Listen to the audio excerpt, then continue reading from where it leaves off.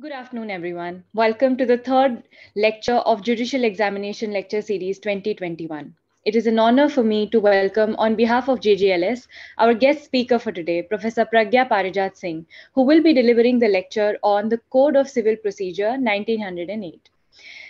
Professor Singh has secured her BA and her LLB degrees from the University of Delhi. She recently completed her LLM from University of Cambridge. She has been practicing advocate at Supreme Court of India as well as a panel counsel for the Union of India. She has represented as a counsel in certain landmark cases like decriminalization of begging in Delhi, re-inhuman condition, of, of uh, 1382 prisoners in India, Polavaram Dam case, TN Godavarman case on forest rights, and Bandhua Mukti Morcha versus Union of India in 2019. She was also a partner at Eunomia Law Associates and was also a legal counselor at Tihar Delhi prisons. She heads a trust by the name of Vidhi Varnayam. Uh, Professor, I hope I'm pronouncing the name correctly. Vidhi Varnayam. Vidhi Varnayam. Vidhi Varanium Foundation, based in New Delhi, which aims at increasing legal literacy in the nation. She has been the recipient of MHRD Central Sector Scholarship from 2008 to 2013 and was recently awarded with the Marlett Award for Personal Achievements by St. Edmund's College, University of Cambridge in 2019-20. In her free time, she likes to travel, cook, or conduct legal awareness campaigns across Delhi. Professor Singh has not only appeared for competitive examinations herself, but also coached aspirants. Today, Professor Singh will be sharing her insights on the subject, the Code of Civil Procedure. Professor Singh will discuss important questions and how to approach them. I now humbly invite Professor Singh to deliver the lecture, after which I will be taking up your questions from the comment section in the last 15 minutes. Professor Singh, the floor is for you. Thank you so much, uh, Professor Trupti, uh, for such a gracious interview. Very kind of you. And a very good afternoon to all of you. I hope you all are doing well. And uh, all the more, uh, my heartfelt thanks uh, that you all are, uh, in a way, you know, utilizing the most of your Sunday. Usually, everyone is supposed to rest on Sunday afternoon, but thank you for sparing time for this. And I'm sure everyone who's attending uh, de- definitely have plans to prepare for uh, judicial service examination. So uh, my only endeavor for the next 45 to 50 minutes would be uh, to share my experiences, my wisdoms, my learnings and unlearnings, whatever I have obtained uh, over a couple of years. Just give me one second, please. Yes. So, having said that, let's talk about uh, the topic that we have been given today. Uh, since I'm teaching uh, Civil Procedure Code 1908 to the students of JGU, uh, usually in the first lecture, I ask them, what are your expectations from the subject or what have you heard about the subject? And most of them usually have a common or in unison, they say this thing that uh, the subject uh, is very dreaded and we've heard that it's very dry it's very procedural very technical and uh, you know not very uh, easy for the student to read all by their own. So criminal criminal procedure code is something which is very interesting it's quite intriguing. And just by the bare language of it if you go through it you'll be able to make out something from it but it's not the same case with cpc it does have certain rules. There is a proper coherence, there's a structure through which you approach this subject. Now, let's also talk about the topic that has been given to us today. We are categorically speaking about the judicial services and what role does CPC plays in the judicial services examination. So, as you all are aware that as of now, we do have uh, an all India uh, uh, Indian Administrative Services examination, but we don't have a AIJS, which is All India Judicial Services examination. However, in the 14th uh, uh, Law Commission report, uh, which date back from the year 1958, the Law Commission had categorically said that Rajya Sabha should be given powers uh, uh, so as to start a AIJS. But imagine ever since 1958 and we are standing now in 2021, we still don't have a AIJS. However, there are strong chances that in the times to come, we might have an All India Judicial Service examination, thereby making judiciary furthermore strengthened. the powers of judges will definitely be increased. And in a way, just like administrative um, uh, services, judiciary will also be taken as somewhat like a spinal cord to how the country runs and how the country works.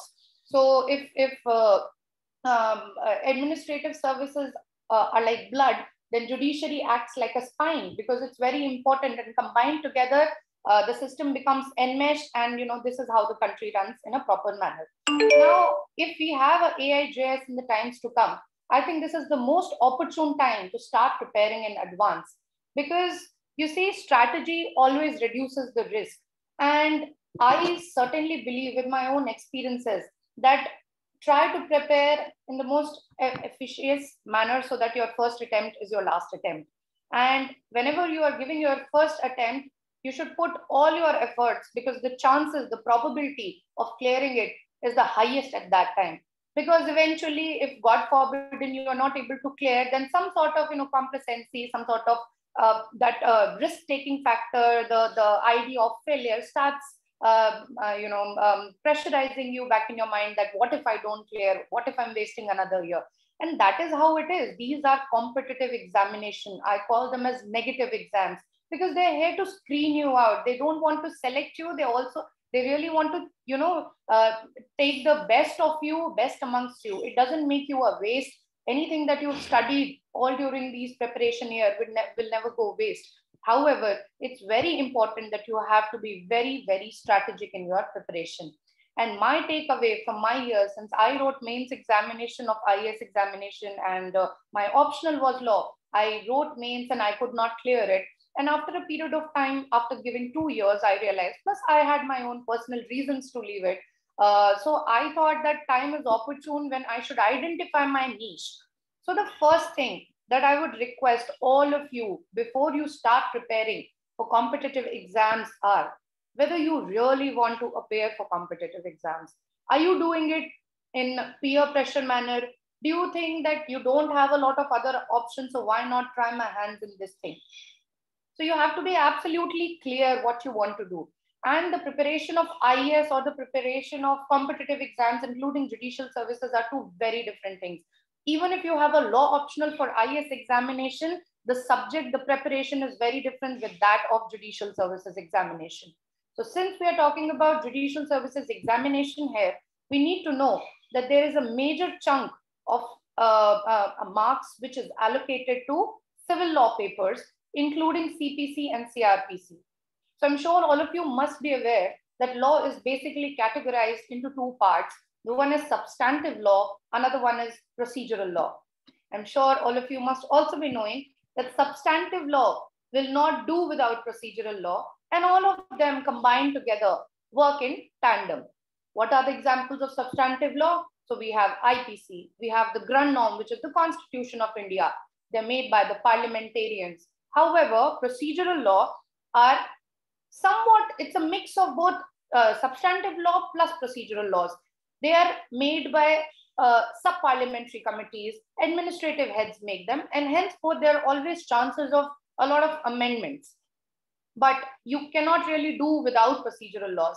So if IPC provides uh, a, a, a, you know structure to the body, it is the blood which is which comes in the form of uh, CRPC, the provisions that can actually you know procedurally take step by step that combined together, it takes the form of substantive plus, plus procedural law. Now coming to CPC. You see, CPC was made in the year 1908, way back when our country was under the British rule. And, you know, let's go again 100 years uh, behind that. It was around 1859, 1860 that for the first time, it was felt by the Britishers who were presiding the small presidency courts uh, while they were listening to disputes. So any dispute which was civil in nature, which was not criminal in nature, uh, were to be heard by these judges. Now there was a lot of uh, you know spatial differences. At one court there was some other practice. At some another court there was another way that was adopted. There was a lot of confusion. We did not have a universal law. So they thought that why not have a law that has applicability over the country and let's combine together, make it, you know, applicable, uh, its extent should be across the country. And henceforth, over the period of time, with several amendments, we got this uh, statute, which is called as the Civil Procedure Code of 1908. Anyone and everyone who has this apprehension that this paper is very dry, is very technical, let me tell you, it is not. It's the most beautiful subject ever. And if at all anyone has done internship in the district courts or a civil divani court, would really appreciate the beauty of this paper. It is very logical. It comes step by step. And anyone who is a rational person, sane minded person would know that this is how it happens step by step. So you are a litigant who's fighting with somebody over a piece of land because you believe that person has taken away your land or is in illegal possession of that land. Now you want to take back that land. What option do you have? You're a litigant. You are you you feel that your you know legal right has been violated. It was your land. You uh, belong to that land, and somebody has taken wrongful possession of that land from say from last three years. Now what do you do? You go to the court of the nearest jurisdiction, and there you institute a suit. You have a complaint, so you file a plaint and thereafter filing or institution of the suit, the pleadings begin. The court will give right to other party by informing them that, hey, a matter has been filed against you. You need to defend because they are claiming that you have taken wrongful possession of that land. Now, when this person comes to the court, the pleadings are set to get over. They are going to file their respective replies where rebuttals will be there, where they will say that, no, I have done this or I have not done this. Based upon that, evidences will be taken into consideration and trial is set to commence. That is why they're called as trial courts. They are not appellate courts, they are original trial courts where a matter is instituted for the first time. So maximum time is given to a fresh matter in the trial courts. Whenever the trial is concluded, comes the stage of judgment. And after the judgment, a decree is passed in favor of one and against another person. This entire subject which has nearly 158 sections, around 51 orders, and a lot of rules combined together comes in the form of Code of Civil Procedure. Now, it is called as procedural law. However, the beauty is that it does have a portion of substantial law as well. So it does have sections also, and these sections are read together with orders and rules. Now, what are rules? Very simple. Rules is any you know set of guidelines that have been made that you're supposed to follow so for example just like in criminal law if they're saying that there is a provision that if uh, a police officer has to arrest a woman who they believe has committed some sort of crime then it is expected that you are supposed to wear your uh, you know badge where your name should be written your uh, designation should be written you cannot go after sunset or before sunrise if you're going to arrest a woman you need to have a lady officer with you. So these are guidelines that have evolved over the period of time, which combined together makes rules. And when certain types of rules are combined together, they're uh, formulated in the form of order. And now these orders are read along with the sections. Now, since I'm telling you that this has 158 sections, it means that these sections were made by the parliamentarians through a proper procedure where the bill must have been introduced, it should have been passed by both the houses, so on and so forth. Now, coming to preparation of All India Judicial Services examination with CPC as a subject. So CPC is not the only subject that you are supposed to clear. So if you are going to give IS exam, you don't have to prepare for procedural law papers. And that is why I say that IS preparation is very different from judiciary. IS preparation does not involve uh, preparing procedural uh, papers like CPC, CRPC. However, if you are preparing for judiciary, it is expected out of you to be uh, well acquainted with the procedural law. If the total examination of any state concerned has, for example, 800 marks allocated in total to the entire preliminary, mains, and interview level, trust me, almost on an average of 200 to 250 marks is allocated only to procedural law. That is CPC. Combined together with CRPC, almost 400 marks out of 800 is given to procedural law papers. And that's why I'm saying, and again and again emphasizing, that by any chance, by any hook or crook, you cannot tend to avoid this subject. Now, what should be the proper strategy if you are preparing for uh, judicial services of different states? So again, like I said, first of all, you should know whether you really want to appear in judiciary or not. So, you know, uh, to each his own, some of us want to go into corporate, some of us want to go to litigation. Some of us also want to prepare for competitive examination. You know, very elite services, very beautiful, has some sort of grace around it. And there is a certain demeanor around the judges.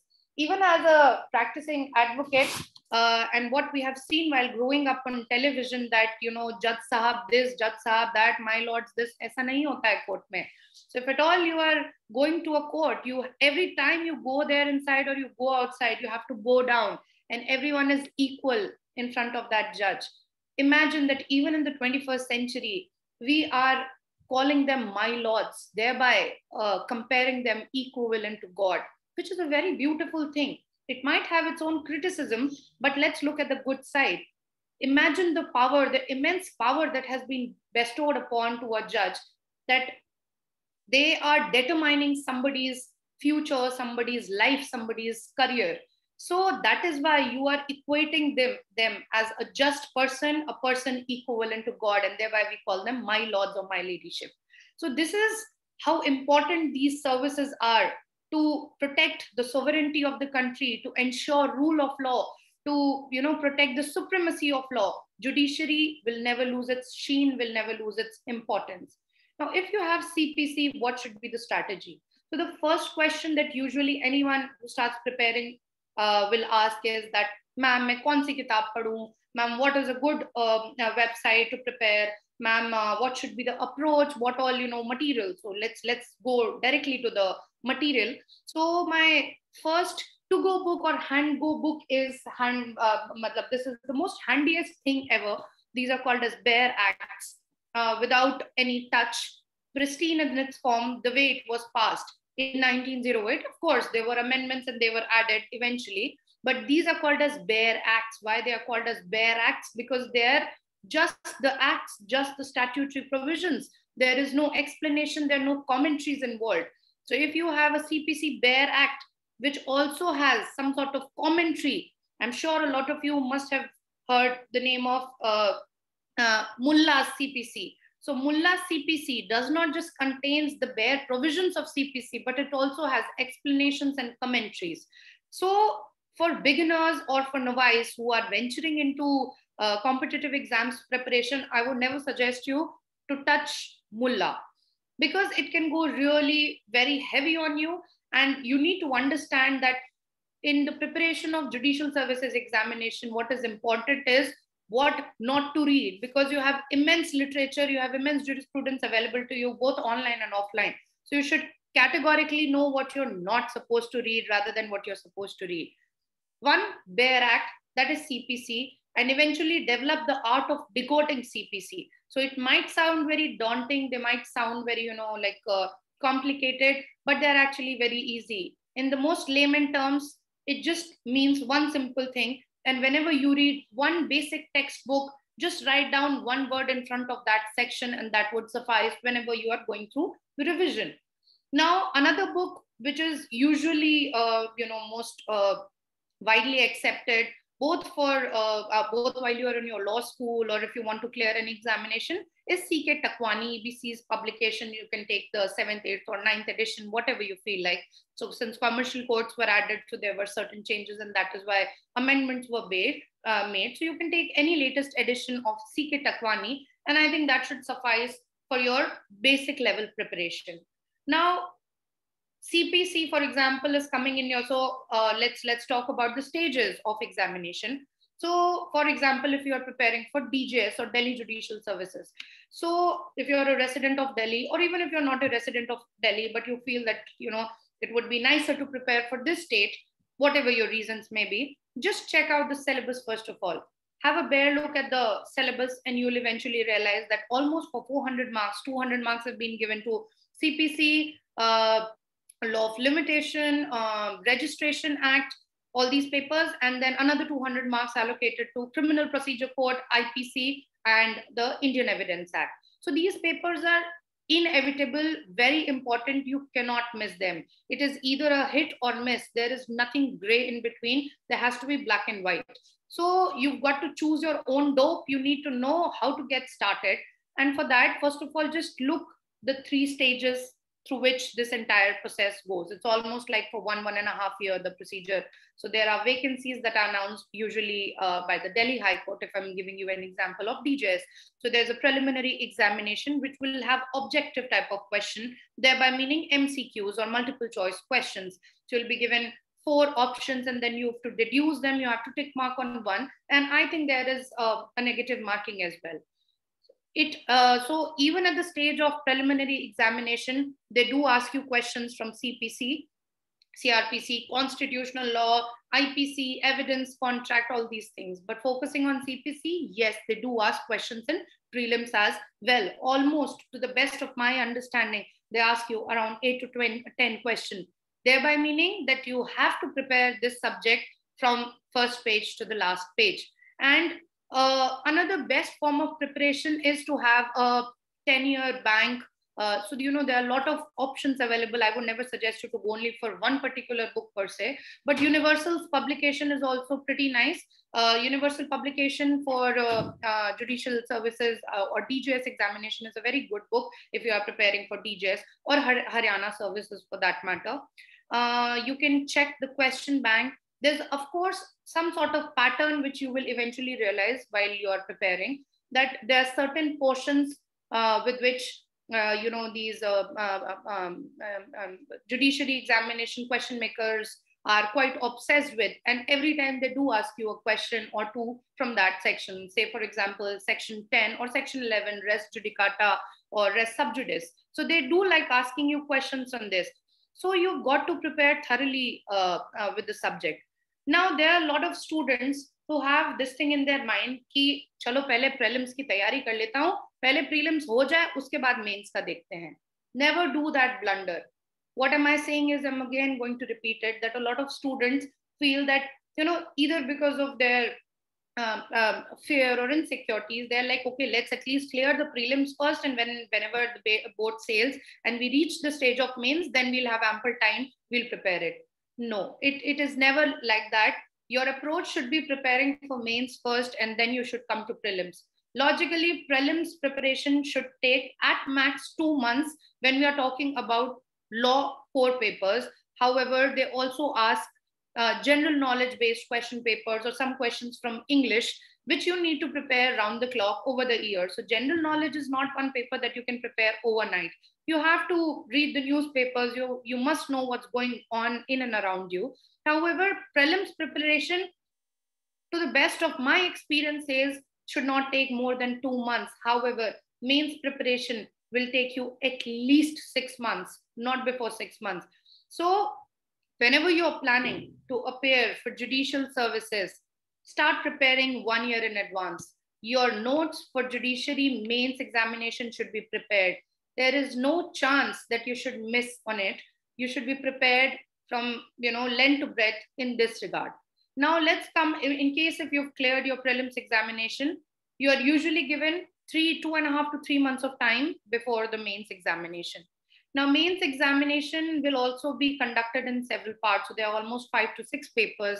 There's a English paper where you're expected to, you know, convert Hindi to English translation, um, English to Hindi translation, précis writing, um, um, you know, judgment writing. These uh, this is paper one. Then there's uh, another paper of general knowledge. And uh, mains examination, uh, let me tell you, is subjective in nature. So it is basically going to judge you the way you are writing. So you've cleared the objective round. You're now at the stage of subjective examination. At the subjective level, they're going to ask you almost 50% of the weightage is given to the procedural laws. Why? Because your first posting, in case you are uh, appearing in Delhi, would be a metropolitan magistrate. Or in case if you are in some other state, you will become a judicial magistrate, second class or first class. Or alternatively, in the most common parlance, you will be sent to a civil diwani court or a diwani court, जिसे कि कचहरी कहते हैं तो कचहरी में अगर आप जा रहे हैं जज बन के प्रोबेशन में ट्रेनिंग के बाद it is expected out of you since you are becoming judge at a district court where the trial happens and trial is nothing but procedural law. So it is expected out of you to be, you know, thoroughly acquainted with procedural law. And in fact, this is also somewhat problematic that uh, the judges at district court are so, you know, overwhelmed with the procedural aspect that sometimes they miss out on the humanity angle or humanity aspect. So there are certain things which are very rigid in procedural laws, due to which the judges do not have the flexibility to make interpretations, and henceforth a litigant goes to a high court for better interpretation. But let's not get into that. All am I saying is that you will be a wonderful judge if you know CPC better. And uh, we are not boasting about it. I've practiced in front of uh, Supreme Court, High Court, and across various tribunals in Delhi.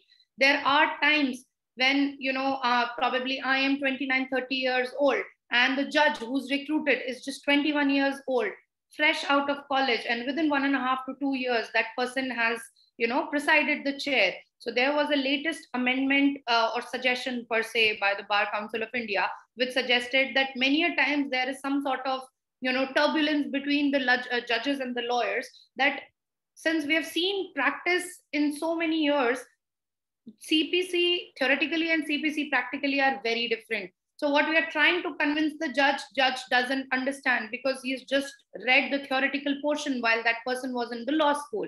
So it becomes quite problematic. So bci came with a recent suggestion or amendment that uh, anyone who's clearing a judicial service examination, it is expected that you should have at least two years of or three years of practice as a lawyer. So it comes with its own plus and minuses, but somehow I would always suggest you that if you have some sort of exposure with litigation, and even if you're not interning, wherever you are staying, whichever country, whichever state you are, just go to a nearby district court.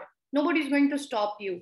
Go inside any random civil court, sit uh, where the litigants are sitting, like right in the end, and just analyze how the court works. What is this judge trying to do? What are the different types of matters that come? What is the procedure they are adopting? And you'll be amazed to understand that what you're reading theoretically and what happens practically are two very different things. Of course, this comes with a, uh, you know, um, as a lawyer's perspective, but we need to understand that it will always be nicer if you are not preparing uh, for CPC just with a, a thought that मुझे सिर्फ paper exam करना है क्योंकि मुझे judge बनना है.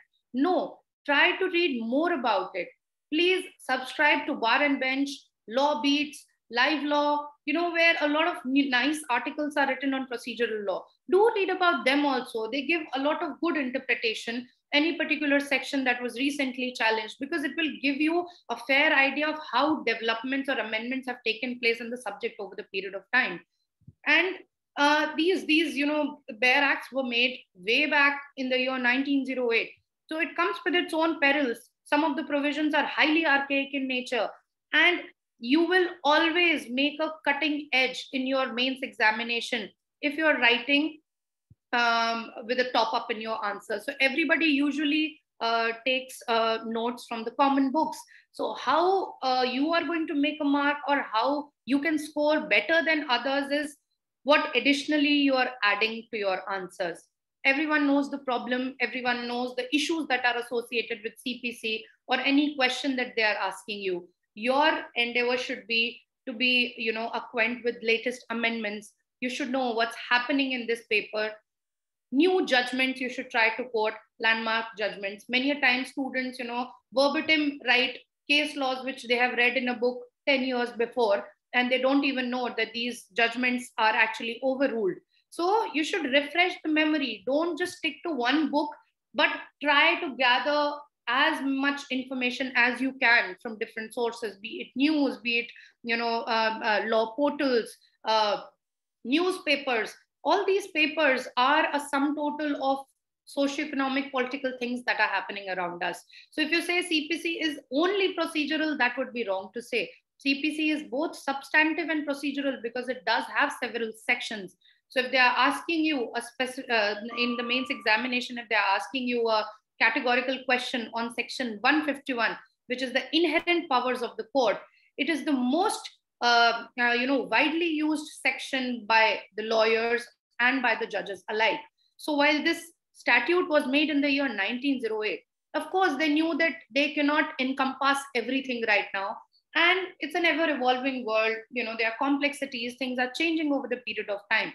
So there could be a situation where something is not written in uh, the procedural law. At that point of time, what would a judge, uh, what would a judge do? What would a litigant do? What would an advocate do? So for that, we the the you know these uh, lawmakers, these drafting committee members came out with a very visionary uh, provision which comes in the form of section 151 that is inherent powers of the court so sometimes when you don't know as a lawyer as a judge as a litigant what procedural law you should invoke because there's no specific uh, provision relating to that.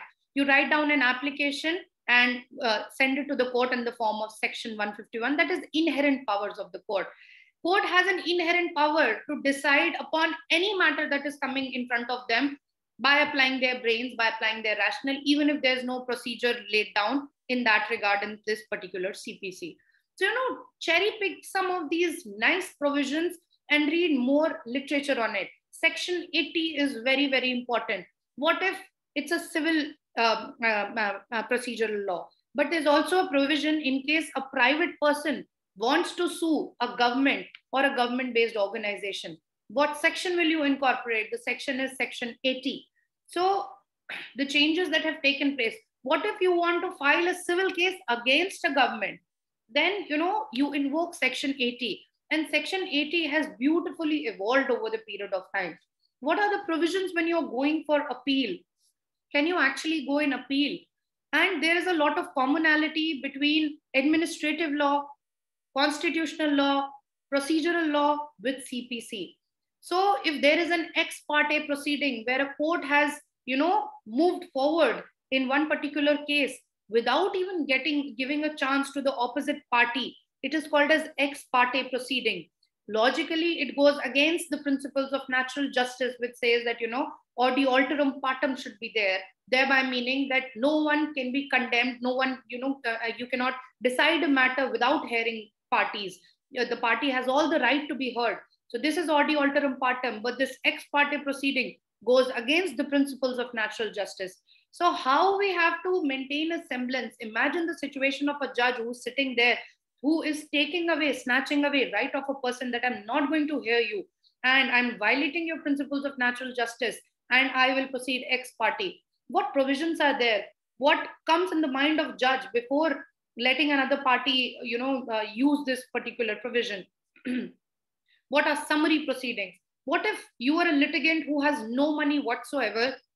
Can, can somebody take away this right that you do not have access to justice? No, the Constitution of India, the Grundnorm, provides us the provision of Article 39A, which is legal aid. And in corroboration to that, CPC comes out with this thing that there is a proper provision for indigent people or for poor people or for pauper people that access of justice should not be denied and there's a special type of suit which is called as indigent suit by indigent people that is provided in cpc so if you're a poor person who does not have money to afford you can also be allocated a lawyer all you have to do is go in front of the, uh, my laws and tell them judge saab mere paas paise nahi hai aap mujhe ek vakil de dijiye and after taking into consideration judge is going to provide you so to say this is just very procedural. It is very difficult. Uh, you know, it is very technical. It is not like that. It has overlapping with a lot of other subjects as well. So if you're reading CPC just like a horse whose eyes are closed, looking right in front, I'm so sorry. Even if you clear your judiciary, uh, even if you become a judge, there can be chances that you know you're not ready to learn this subject or any subject of law per se is ever evolving in nature. And that is why we do have amendments. We are living in a very complex society where things are changing over the period of time. So we need to adapt ourselves in such a situation where we are able to cope up with whatever changes are uh, brought forth in papers like these. Not just that, another source which is beautiful is the Law Commission report. So Law Commission reports have great jurisprudence it has great literature anyone who's interested in research also can you know take care of these law uh, uh, reports and you can write down the recommendations that have been given? Of course it has its pros and cons. Now when you're writing your mains examination since i have uh, uh, uh, prepared also and at the same time although i've not prepared for judiciary but i had friends who are thankfully now judges and i asked them their approach i would always regret why i did not uh, appear for the um, um, judicial services examination um, uh, at the uh, at the uh, magisterial level. However, there's also a provision of higher judiciary examination for which you are eligible if you have seven years of practice, something like that. So you know the option is never closed. You can appear it uh, for higher judiciary as well. So the thing is that one common answer that most of my friends have said is that the answers that you are writing in mains, the judges expect you. So they are basically the judges who are checking or evaluating your copy. They expect you to come out with solution centric answers. Everyone knows what's the problem. Everyone knows, uh, uh, you know, uh, what are the troubles that are associated or anything that they are asking you. When they're saying discuss, uh, you know, um, um, uh, elucidate with examples, explain, they are leaving the ball in your court by saying that we expect you to come out with solutions. You're not here to just decide between what is right, what is wrong, but also to come out with an interpretation. So there's some sort of critical thinking that you need to develop over the period of time. And you will always cut across other uh, evaluated scripts if you have written something additional to your answers. So do subscribe to these websites that come up with uh, that that that, I, that you know are acting as law news portals. Lawbeat is there. Um, um, live law is there, bar and bench is there, and there are you know uh, notifications regarding CPC or CRPC, any particular case that was overruled, that was challenged on any particular section. Some learned advocate has given their own explanation to the same. So these are my intakes for you all. Uh, advanced stages of preparation would always help you clear this hurdle, and uh, all I can say is that first of all you need to set what uh, yourself in the right direction. You should know whether you really want to do it. It's a great responsibility. It's a beautiful profession. It's not everything around having a sarkari gadi security bangla and you know lal batti or neeli batti but it's much more beyond that. You are my lords you're determining uh, life of somebody. So there is great ounce of gravitas around this profession great profession great you know responsibility i would say. And decide yourself uh, start preparing well in advance focus on mains first. And for interview you'll have a lot of you know um, um, youtube videos that uh, uh, toppers. And you know not just success stories but failure stories are also given. So when i look back uh, sometimes back in those days i used to feel frustrated that oh my god i've given two two and a half years to this thing and i got nothing in return but now when i look back into uh, you know retrospect i feel that thank god failure happened to me. I've been a topper throughout. I could never taste what uh, failing like means in life and what failing like an examination means in life. And it has given me the most beautiful lesson of being acquainted with subjects like these. They are beautiful subjects. And even if i could not clear examination i know the subject all by my heart. And i'm very happy and content with the same so do watch videos of not just success stories, but failure stories as well, because it's absolutely normal and it's absolutely, uh, you know, valid to feel all sort of emotions in you. And uh, thereby I put an in, end to my monologue watching at the uh, screen blank. So if you have any questions, please feel free to unmute yourself. I'll be more than happy to answer. English, Hindi, whatsoever. I'm so sorry, I don't know any other language. Thank you. Yes, I see Anushka. Hi, Anushka.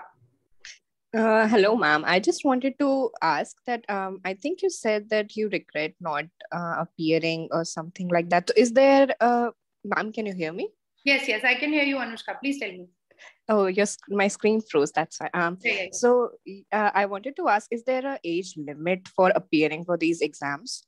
Yes, there is an age limit. I haven't really checked right now, but I believe it is uh, 30 or 33, Anushka, I need to check uh, uh, for judicial services examination. Maybe it's so for different categories, for uh, generals, for sests there's a different age bracket. uh, different states have different eligibility criteria. So, in case you want to appear for Haryana Judicial Services, just visit the website of Haryana High Court and just check there what is the eligibility criteria. Or for that matter, you can just write down uh, on Google. I think I, it's it's not that I cannot give, but of course, uh, why I said this thing, I regret not giving it back in those days is that now that I have a practice of seven years, it makes more sense to appear for higher judicial uh, services so that my seven years of practice will be taken into account. And in case if I clear HJS there are strong chances that you know I will be sent directly to a sessions court, and the chances of getting elevated to high court also increases. And if at this at this stage I clear a metropolitan magistrate or examination, these seven years will not be taken into consideration. So it would be nicer that you choose at what stage you should. So early you get uh, selected, more chances of you going to uh, uh, uh, high court or uh, you know being a district judge so that's that's my intake so i would definitely prefer in case if i at all plan uh, uh, giving an examination that should be an uh, HJS examination and not a lower judiciary examination anushka okay ma'am just one more question yeah. so is there an age limit for higher for appearing for the higher judiciary no, as well there's, there's a eligibility criteria they expect you to have i think it's seven years uh, into practice or as a judge, seven years into litigation or as a judge.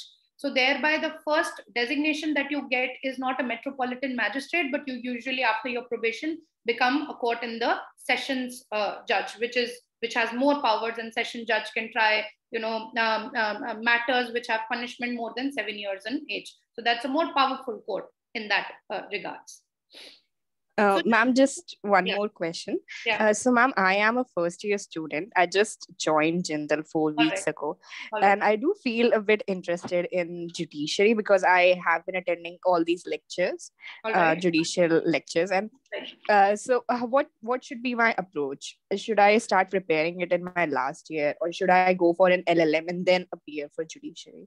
Okay, Anushka. So I take this question as a general question for let's believe a lot of students who are attempting or are planning to take a, a judiciary examination by the end of their uh, five years. So Anushka, if I was you, I uh, would for the next one to two years get my hands on with different types of laws. So I would not start preparing directly from my first year for judiciary examination there is a logic because by the time you're in your fifth year, you'll feel worn out, you'll feel tired.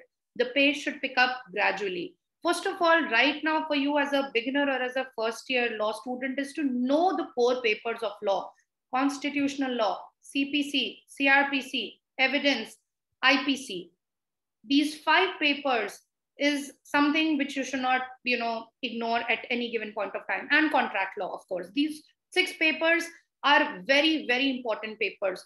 So, you know, first of all, get your hands with these papers. Try to learn the art of writing examination, do some sort of research. And only in your, I would say, you know, when when two and a half years or say three years have gone by, and meanwhile in these three years, try to do internship in a civil court, in a criminal court so that even if you're not having a work experience after uh, finishing of your law school you very well have an idea as to how these courts work practically. So i would definitely suggest you that for the next two years your target should not be to you know from the first day itself start preparing for judiciary but at least chart down certain things in your mind. You should know the trajectory that you have to follow eventually.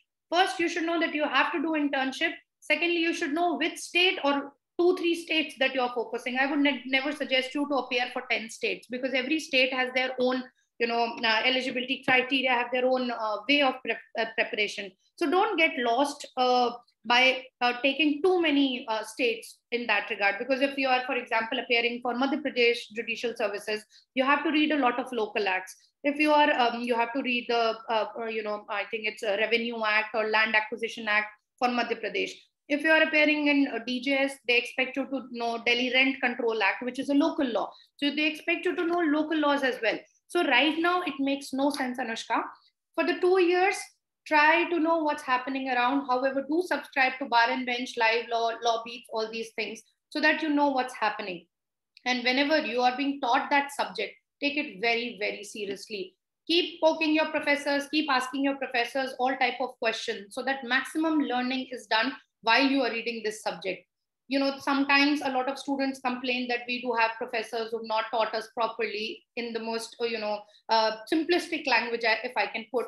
But it's, it's sometimes the situation is that you know a professor is very well uh, read you know high uh, um, um, achievements uh, a professor has high achievements all these things. But probably they're not able to deliver or the students are not able to understand. So if that happens uh, I don't know who can help you out, but still your endeavor should be to stick to bare minimum bare acts that you have, uh, uh, the textbooks that you have, and keep asking your professor questions. You know, you can take uh, time from them and you can ask that I'm not able to understand this provision, and I'm sure they're going to give you time. So as of now, Anushka, um, uh, long thing short, I would suggest that uh, after two, two and a half years, get stead and in that position of preparing for examination. Yes, Kushi. Oh, okay, ma'am. Uh, ma'am, just a follow up question, if I may. Uh, Anushka, there are a lot of other people as well. Oh, okay. uh, I don't mind if you can write to me. Uh, my email ID is uh, pragya at the rate uh, uh, uh jju.org. So you can write down to me and I'll also uh, leave my email ID in the chat box so you can ask your questions. Okay, ma'am, that works. Thank you so much. Yeah, yeah, Anushka. Yes, Kushi. Hi, I see your hands raised. Yeah, Professor, am I audible? Yes, Kushi, you are. Oh, yes, Professor. I just had like a different view because I've heard from some people that, um, you know, once you enter the profession and once you do crack judiciary and once you become like the first class or second class magistrate, the scope of your growth personally as a law student, because you'll always be a law student, a student of law wherever you are, the scope of your growth as a law student diminishes because because over the years like say you'll be stuck for like nine ten years in that court there's a probability right so you will be faced with the same old matters and the same kind of matters and applying the same law okay so i got this from um, professor uh, from mr Bharat Chugh he actually uh, came for a seminar. I know he's my colleague. I know. I know. He came here for a seminar at Jindal, and the whole topic was that why he shifted to corporate law. He was a partner at L&L, and now he has his independent practice. So when asked why did he leave the judi- uh, judiciary and what motivated him to venture into corporate law? He stated that you know it, it was monotonous for him and for nine or ten years he was in that profession. He didn't really gain much like as he wanted to uh, 10 What's years What's your point what is your view? Like would the growth be restricted? How do you tackle that? Like of okay, course okay. a very genuine question kushi but i think the answer lies within the question that to each his own and I certainly feel that uh, learnings never stop in your life. As a lawyer, also, while I was practicing at the court, you know, as a woman, you tend to get a lot of matrimonial matters. Uh, I've done matters on uh, acid attack, uh, gang rapes. I've done matters on domestic violences. I've practiced in the civil side, criminal side, and since I was in, um, I, I am a legal counselor at Tihar Jail also. I used to get a lot of matters in and associated with women, but trust me, every matter has taught me something new. As a lawyer, I'm saying per se. But if you're a judge, can you say that it will become stale? Can you say that you know your learnings will stop? I think it's very personal. It's very personal, Kushi. It depends what makes you happy. So my passion, if you ask me, is both teaching and litigation.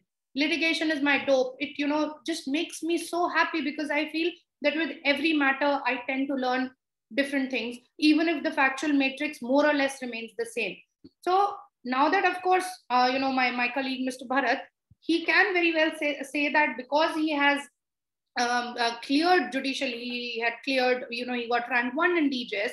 And after uh, taking the training and all these things, then he shifted to corporate. So he might have his own reasons, but I still believe that it's very personal it will it, it depends upon you if you want to come out of your comfort zone if you're not that person who you know as a lawyer i, I see uh, uh, justice uh, uh, rohinton nariman i see justice U U Lalit um, justice chandrachud at Supreme Court, and I was very fortunate to practice in front of them. And I believe with every new matter, they've come out with something absolutely new.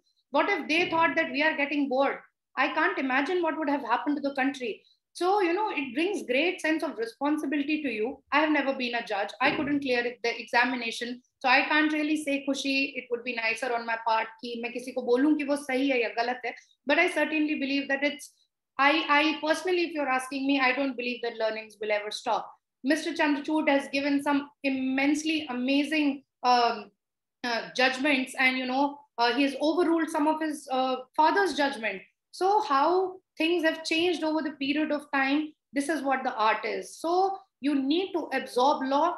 You need to bring, you know, it, it's just, it's not that even if you're in a court for 10 years, you can come out with great judgments, which in the times to come, see, uh, nobody is going to judge the judge but the history will remember the judge. And that is the beauty of this profession, Kushi. yes, Aditya. Uh, ma'am, I think Shubhangi had her hand up first, so you can ask her. I'll go after her. Okay, all right. Hi, Shubhangi. Uh, hi, Professor. Actually, the only question I wanted to ask was so you said that uh, you weren't successful while uh, trying for it. So I wanted to ask is it because and you were a topper as you said so is it something that we need to maybe go for some classes or i don't know do are you saying for coaching yeah like something like that do we need something like that or uh because i mean if like as so, uh, yeah. since I prepared for IS examination and my optional was law, which does not have procedural law, plus unfortunately, since I was from Campus Law Center, Delhi University, maybe I wasn't that very sincere back in those days, or maybe the fault in my stars, whatever, that uh, I could not understand CPC very well. It was only when I started practicing that I could appreciate the subject. I've never prepared for judiciary that I can say. However, I teach judiciary students, I've taught them with their uh, laws and optional because now I have, uh, um, uh, you know, uh, uh, I, am decently well acquainted with CPC and CRPC. So to uh, so I would always say that uh, coaching is not mandatory, not at all. However, it is not problematic as well. One year you are focusing completely because when you're doing your classes in the law school, and I've seen a lot of my friends clearing judiciary without any proper uh, coaching. So coachings are not mandatory. However, when you're in your law school, you have other subjects as well. You know, you keep focusing on other research papers, you have deadlines, this and that. So for that one year, if you're doing a coaching, it will, you know, very intensely give you a quick uh, refreshing of all the law papers, all the important law papers that you've come across. And henceforth, I would never say that don't go for uh, coachings. Coachings are, you know, making money, this and that. It's a corporate model. If you can afford very well, you can go to a coaching, do some research. I would never hear, I'm not here to suggest you which coaching is good. I'm not a spokesperson of any coaching per se. But since I have taught also, all I want to know is that try to do a little research upon the background of the coaching that you are endorsing so that, you know, it's, it's not a small amount, one and a half to two lakhs you are spending in coaching plus one year of time. So you can start in the fourth or fifth year of your college, uh, this coaching, and by the end of the year, you might be ready with all the papers, and then you have to quickly start revising. So it can be very intensive. You might feel frustrated at times, but it's not mandatory at all. It totally depends upon you. However, if I was you, Shubhangi, I think I would have gone for a coaching. I would not deny that because while we are in our law school, we tend to do a lot of other things as well. And it's still not mandatory. If you are confident, I think there's a lot of online uh, available uh, material which you can access and you would never have a trouble clearing examination. However, one thing is that no coaching can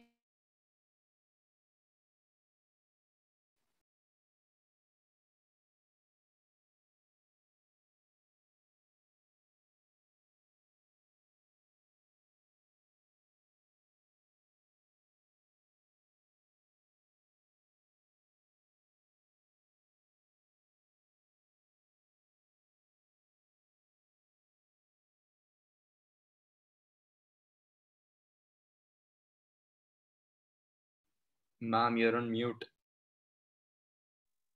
You can, can you now hear me? Yes, ma'am. Yes, ma'am. So I was saying that even if you're in your first year, try to read newspapers. Newspapers will help you a lot while you're preparing for mains examination. Uh, the Hindu and the Indian Express are two newspapers which are pretty decent editorial wise.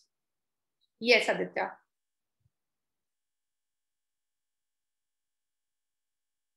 Aditya, can you hear me? Uh, yes, ma'am. Good afternoon.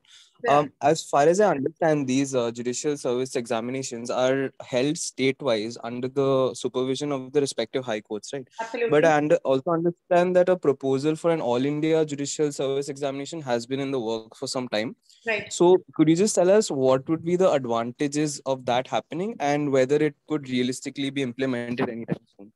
See, so just like I said in the beginning, Aditya, the idea was first proposed in the 14th Law Commission report way back in the year 1958. And, you know, uh, uh, time and again, then we had the 42nd Constitutional Amendment Act, which is called as the mini um, uh, constitution, where another article altogether was incorporated, that is Article 312, uh, subsection 1, if I'm not wrong, which says basically that, uh, you know, Rajya Sabha is empowered to create a all India judicial uh, service examination. Now, there's a lot of politics around it. There's a lot of inside stories because many a times they say that the administrative side or the bureaucracy would never want somebody to come at power with them, at par with them. And henceforth, you know, there's a strong resistance from within that there should not be all India judicial uh, uh, services because they still believe that uh, to keep uh, the check or, and excesses of executive and legislature, we have judiciary. What if we empower judiciary to such an extent that we have a combined all India judiciary examination? Uh, there can be a lot of negative nuances, which you know bureaucracy feels that it might have, which can be true, which not, not might be true. But I believe there are a lot of pros and pros, especially as law student, uh, if you are looking, because the problem is that right now, if you see, every state has its own, you know, tattered and haywire way of uh, uh, conducting these examination. There's not a proper channel. There's not a proper time period that is designated. So the issue is that a lot of students appear in multiple judiciary examination of different states. And since every state have their own ways, uh, different approaches, it becomes very difficult uh, to keep pace because you have to read a lot of local laws and you're not able to focus per se. And it's not wrong because if you're appearing for three judicial examination of three different states, for example, say UP, Haryana, and Delhi, it is quite problematic for you because all these three uh, states have very different approaches. They expect you to write down answers in mains in a certain format. DJS is pretty evolved, it's very different. And however, in UP, there's a more focus on the general knowledge part. So it can be very, you know, um, it, it's quite cluttered right now. So if we have all the more uh, for IS examination, there's a proper notification by UPSC. There's a time period that is prescribed. There's a number of vacancy that is prescribed. So things are transparent. So they know that in this year, forms will be out in, uh, for example, say March, then there will be a, a, preliminary examination in June, then there will be a mains in October, and then, you know, in the next year, there will be a uh, preliminary, uh, there will be an interview. So at least things are systematic. There's a proper structure. However, it is not the same in judiciary. So I remember three, four years back, the UP uh, uh, judiciary came out with notification um, after three years. So for three years, there was no exam altogether. So if, if there were students of UP cadre, they were, you know, uh, you would always prefer giving your state examination relatively to other state because, you know, you're acquainted with the system. You would want to be around your folks. So this used to become a problem. So uh, it came out with, say, whooping 500 vacancies but then what they did that in order to compensate they were like 500 vacancies one at a time we're not going to do. So let's divide. Let's you know consecutively for the next three years come up with 200 vacancy 200 vacancy and 100 vacancy. So it's a little haywire. So i believe if we have all india judiciary examination a lot of students who are at the prime or they're at their youth would not you know waste their years and years because you are giving examination. Imagine you've given an interview you're waiting for your results and you're again at the same time preparing for your preliminary examination in the next round. So you're just somewhere in between there. So either it's a congratulation or that you have to prepare for prelims examination all again. So there's a lot of frustration a lot of you know mounting pressure and you feel you start feeling like a failure. And i've seen a lot of students in old rajendra nagar or karol bagh where these coachings are you know they they they become frustrated because prime or youth of their age has gone preparing in these negative examination. So I believe AIJS is an altogether uh, go ahead uh, uh, as it should be. And I certainly believe that in the times to come, we will have a AIJS 400, like I, my, my heart says, my prediction says whatsoever. Yes, Parikshit.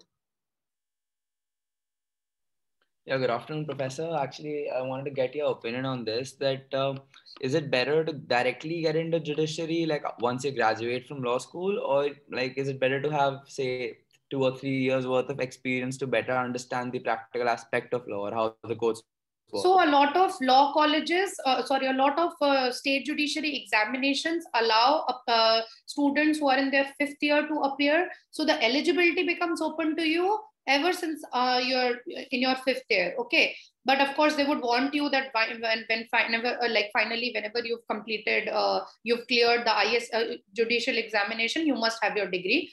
So the more early you start better chances of getting elevated because in judiciary everything comes with age. So you know with age you get promoted you with age you get promotions. So that is uh, something which is very good.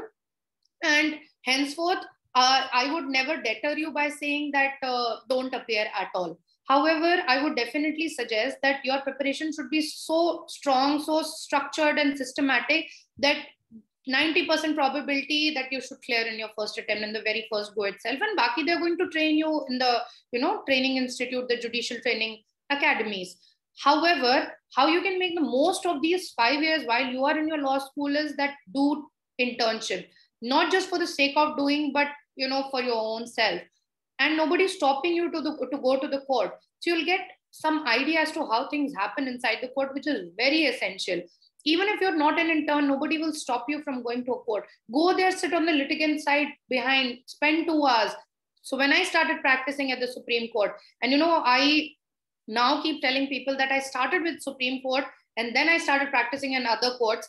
My best experience uh, or my you know best uh, um, um, uh, learning experience has actually come from the trial court because supreme court is an appellate court you don't really get a lot of chance to you know debate or make your points you have very limited period of time however if you go to a district court from day one from you know from the scratch you are very well aware what is head to toe of that matter if you are at all joining any office any litigation office law clerk को पकड़ो अपने office के जो clerks होते हैं उनके साथ जाओ you know learn. These people are uh, visionary. Even the senior advocates are dependent upon these people because they do not know that a small technical uh, error that somebody if you have not filed a court fees and even if the suit has you know uh, at the stage of trial where you know the judgment has to be delivered if the opposite party knows that the court fee was calculated wrongly or if there's a wrong error regarding the jurisdiction your matter is liable to be dismissed so that is the beauty which will only come with some sort of practical experience so if at all